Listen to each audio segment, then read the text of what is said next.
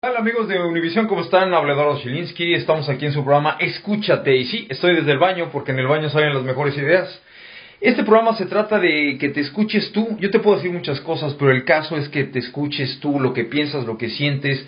¿Te has dado cuenta que todo el mundo tiene el celular en la mano y estamos viendo lo que hace la gente, lo que piensa la gente? Pero ¿qué tal si tú sigues tu propia filosofía de vida? ¿Qué tal si tú creas tus propios códigos?